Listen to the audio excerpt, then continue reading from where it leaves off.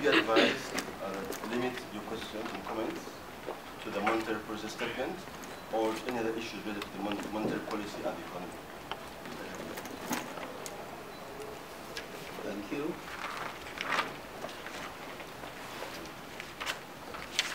Good afternoon once again. This uh, is the monetary policy statement for June 2018.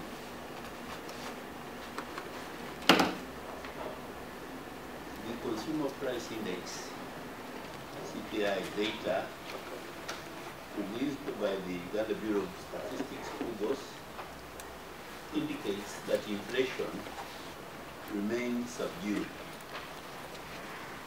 Annual headline inflation declined slightly, 1.7% in May 2018 from 1.8% in April 2018, while annual core inflation declined 1.1% from 1.6% over the same period.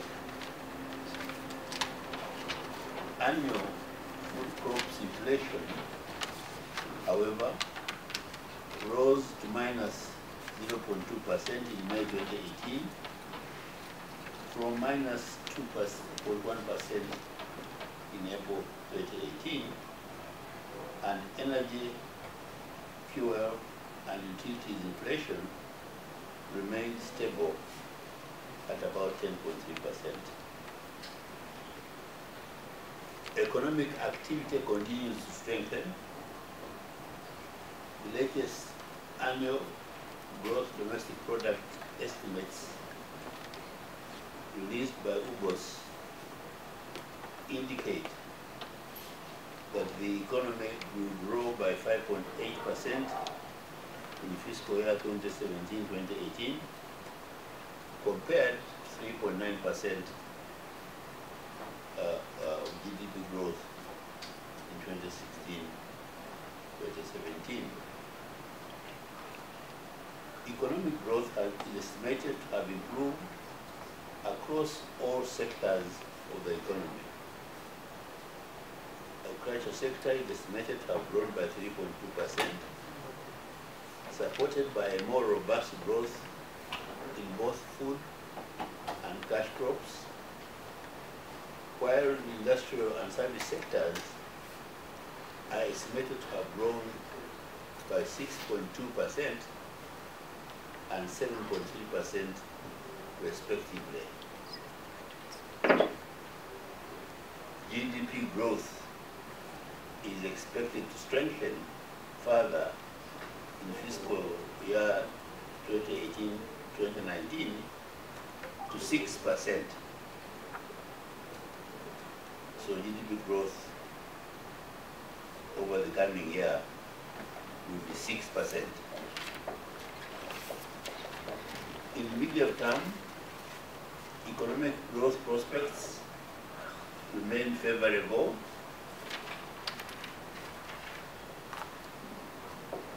and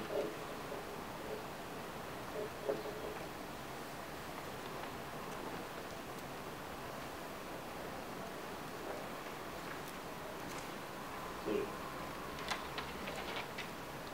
economic growth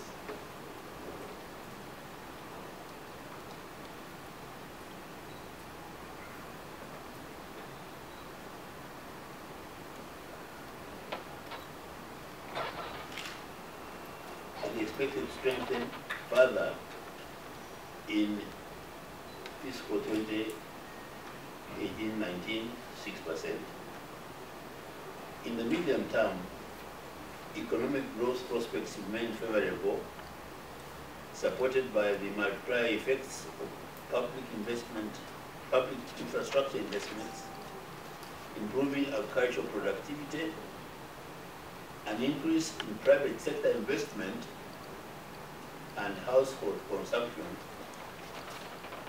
as well as the strengthening of the global economy. However, the contribution to net exports, so the contribution of net, of net exports to GDP growth will be negative as a result of an acceleration in the import-intensive components of domestic demand. Downside risks in macroeconomy include exchange rate depreciation coupled with increasing oil prices. The exchange rate has over the last three months come under pressure, driven by global strengthening of the US dollar and the weaker current account position due to increased demand for imports into Uganda, which more than offset the growth in our exports.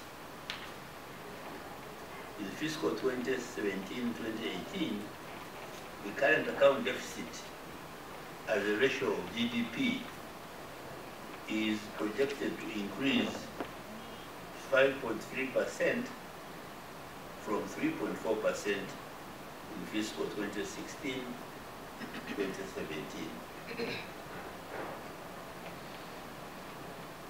Inflation is projected to increase, sorry, is projected to return close to the medium-term target of 5% over the course of 28 stroke 2019.